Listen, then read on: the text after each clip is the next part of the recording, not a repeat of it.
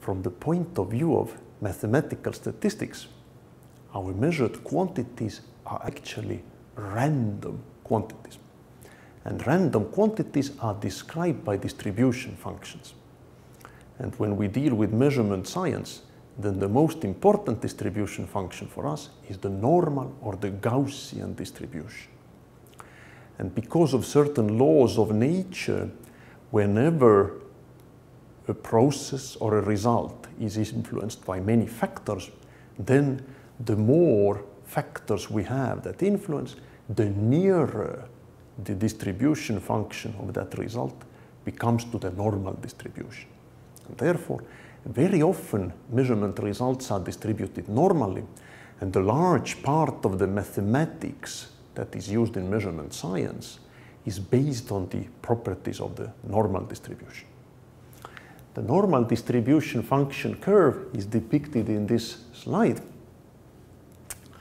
It characterizes the probability of a random quantity, and the random quantity is y in our case. And the probability is on the vertical axis. And this distribution function tells us that there's a certain most probable value, the mean value, ym, where the probability of this random quantity occurring is highest. And as we depart from the mean value to either of these two sides, the probability gradually decreases. So that this is basically a probability density graph. The highest probability is in the middle, the lowest on the sides. And there are some important properties of this distribution function. First of all, even though the probability gradually decreases and actually quite sharply decreases as we move away from the mean value, it never really becomes zero. So there will also always be some positive non-zero probability. And this is the main reason why usually we cannot give measurement uncertainties with 100% probability that we saw in another lecture this normal distribution function property actually tells us that this is impossible. Now, the second important feature of this normal distribution curve is that even though it never really ends, so there always will be positive value however far we move from the mean value, nevertheless, the area, the area under this curve is finite. And in the case of normalized function, it's equal to unity, meaning the probability of this value being somewhere is 100%, which obviously needs to be true. Now, let us examine the normal distribution function more closely on the example of pipetting. So we have a 10 milliliter pipette and suppose we pipette several times, trying to pipette 10 milliliters every time. What happens? What happens is that every time we get a slightly different volume. So see, it's always somewhere near 10 milliliters, but never exactly 10, and also it tends to be quite uh, different at different times. If we now plot these values as a histogram, then we see something like this.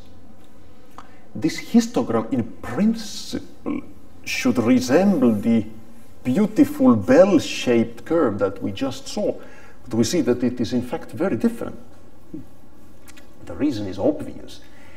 We have only made 10 measurements up to now, and 10 measurements is too small number to get the normal distribution curve let us also look at this axis here. It's now not probability, but frequency. Probability and frequency are closely connected to each other. Basically, the higher the probability, the higher the frequency of a certain measurement result occurring within a certain limit. Let us examine now what happens if we make more measurements. So as the measurements come, we see that they tend to come into this center part more often than on the sides. And we can see that if we now make 27 measurements, then even though we still don't have this nice bell-shaped curve, we already now have more measurement results in the middle and less measurement results on the slides. So that the number of measurement is increasing and this distribution function depicted here by histogram becomes more normal distribution like. But if we now make many, a very large number of measurements, let's say 1000, then our histogram really will resemble the normal distribution curve very nicely.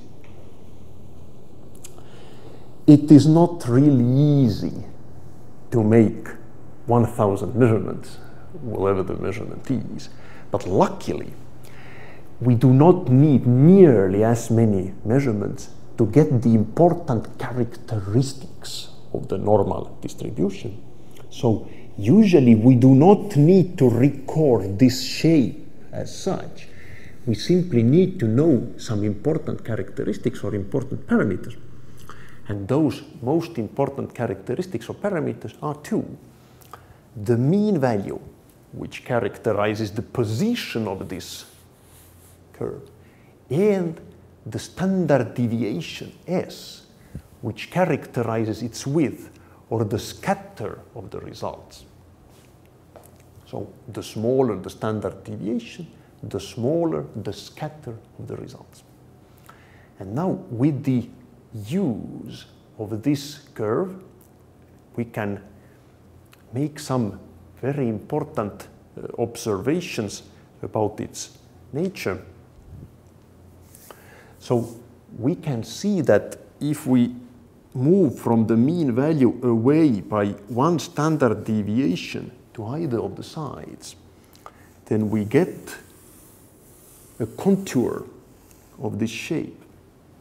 And it turns out from the properties of the normal distribution function that the ratio of this area to the overall area under this normal distribution curve is roughly 68%. This is the basis of definition of standard uncertainty. So standard uncertainty, as we see in uh, many cases in other lectures, is the uncertainty given at one standard deviation level and also it's thereby uncertainty at roughly 68% probability. Now, we can multiply this standard deviation by some factor. And if we multiply it by 2, then we get this kind of curve. And now the area of this part here as related to the whole area under the normal distribution curve makes up roughly 95.5%. And this here forms the basis of the so-called expanded uncertainty. So expanded uncertainty, as we again see in other lectures, is obtained by multiplying standard uncertainty with some coverage factor, 2 in this case, and it allows us, enables us obtaining measurement uncertainty estimate with higher probability. So this 2S level, or as we say, expanded uncertainty at K2 level, is uncertainty at roughly 95.5% probability. So the probability of the true value falling within this range is now significantly higher. And likewise, if we multiply S by 3, then the same percentage will be 99.7%.